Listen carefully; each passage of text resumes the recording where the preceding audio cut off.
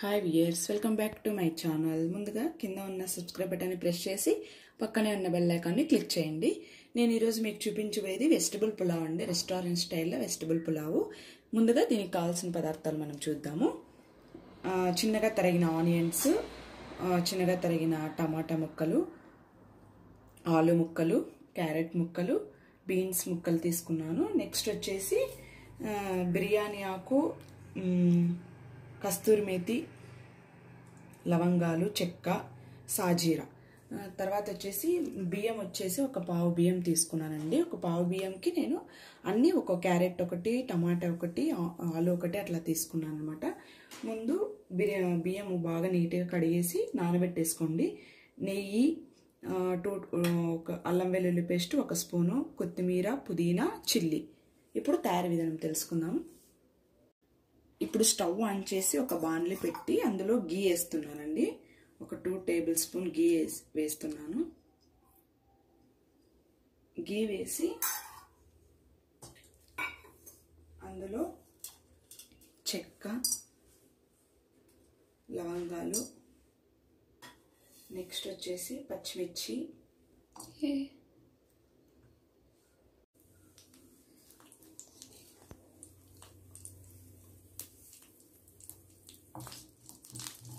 ఇవి లైట్గా వేయించుకుందామండి. పచ్చిమిర్చి చెక్క లవంగాలు.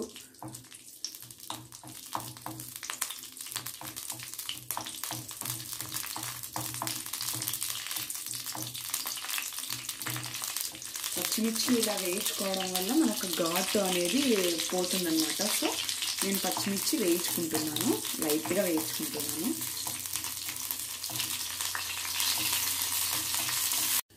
ఇలా వేయించుకున్న తర్వాత ఇప్పుడు నేను మసాలా ప్రిపేర్ చేస్తున్నాను. మసాలా కోసం అనేసి ఒక జార్ తీసుకొని ఈ జార్లోకి ఇందాక వేయించుకున్నాం కదా పచ్చిమిర్చి అవి వేసేసుకుందాం అనమాట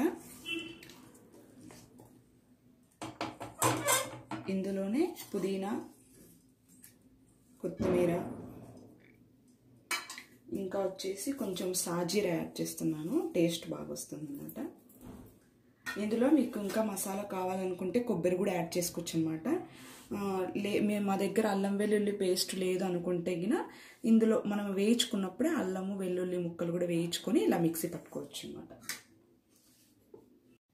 ఇలా మిక్సీ పట్టుకోవాలండి. తర ఇప్పుడు వచ్చేసి నెక్స్ట్ స్టవ్ ఆన్ చేసి కుక్కర్ పెట్టేస్తున్నాను. కుక్కర్లో కుక్కర్ పెట్టి అందులో ఆయిల్ యాడ్ చేస్తున్నాను. మీరు కావాలంటే నెయ్యి కూడా యాడ్ చేసుకోవచ్చు టేస్ట్ కోసమని.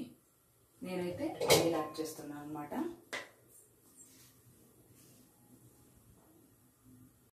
ఆయిల్ వేడెక్కాక ఇందులో వచ్చేసి రెండు చెక్క రెండు లవంగాలు బిర్యానీ ఆకులు వేస్తున్నాను. సాజీర కూడా వేసేస్తున్నాను అనమాట సాజీర వేసిన తర్వాత ఆనియన్స్ వేసేస్తున్నాను.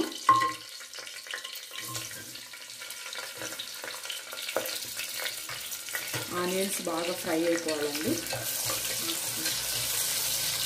ఆనియన్స్ ఫ్రై అయ్యాక అల్లం వెల్లుల్లి పేస్ట్ వేస్తున్నానండి. ఇది కూడా బాగా వేయించుకోవాలి. నెక్స్ట్ టమాటా ముక్కలు వేస్తున్నాను.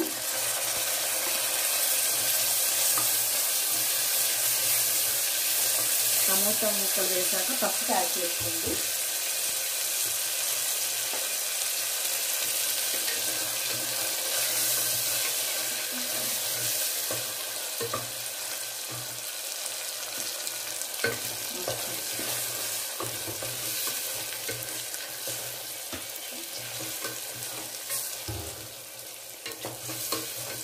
టమోటా బాగా వేయించుకోవాలన్నమాట. బాగా మెత్తగా అయిపోవాలి.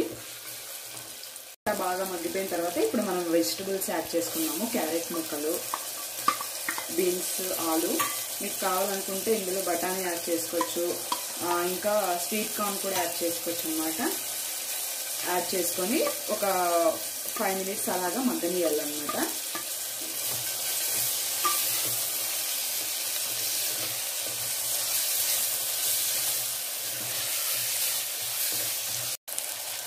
ఒక ఫైవ్ మినిట్స్ అలాగా మా కా- ముక్కలన్నీ కాయగూర ముక్కలన్నీ మగ్గిన తర్వాత మనం ప్రిపేర్ చేసుకున్నాం కదా మసాలా యాడ్ చేసుకుంటున్నాం అనమాట మసాలా యాడ్ చేసుకొని ఇందులో ఒక ఒక టూ మినిట్స్ అలాగా స్మెల్ పోయేంత వరకు వేయించుకోవాలన్నమాట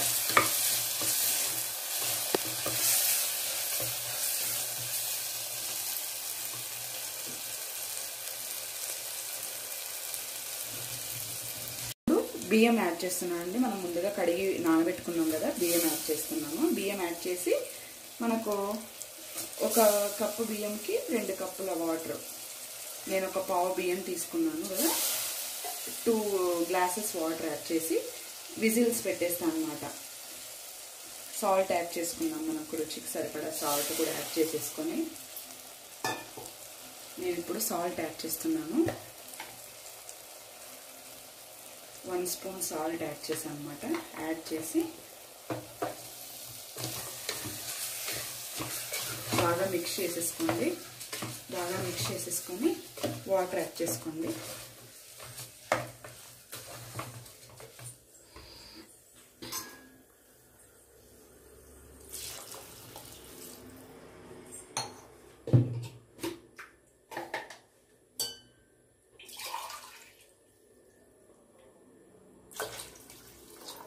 వాటర్ యాడ్ చేసాను వాటర్ యాడ్ చేసిన తర్వాత బాగా మిక్స్ చేసేసుకొని నేను ఇప్పుడు కస్తూరి మేతి కూడా యాడ్ చేస్తాను అనమాట పైన.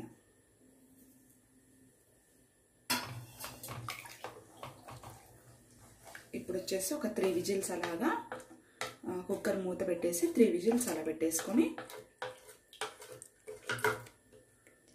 దించేయండి అంతే. విజిల్ అంతా వెళ్ళిపోయాక మనము కుక్కర్ మూత తీసేసి ఒకసారి బాగా అంతా కింద నుంచి పై వరకు అంతా మిక్స్ చేసేసుకుందామండి.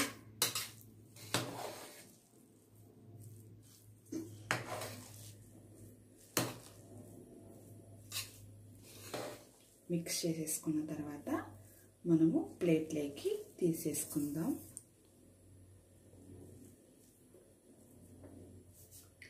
దీనికి వచ్చేసి పెరుగు పచ్చడి తీసుకున్నాను నేను combination. So restaurant style veg pulao ready అయిపోయింది. మీరు కూడా ఇది ఇది మీ ఇంట్లో తయారు చేసి ఎలా ఉందనేది నాకు కామెంట్ సెక్షన్లో తెలియజేయండి. Thank you.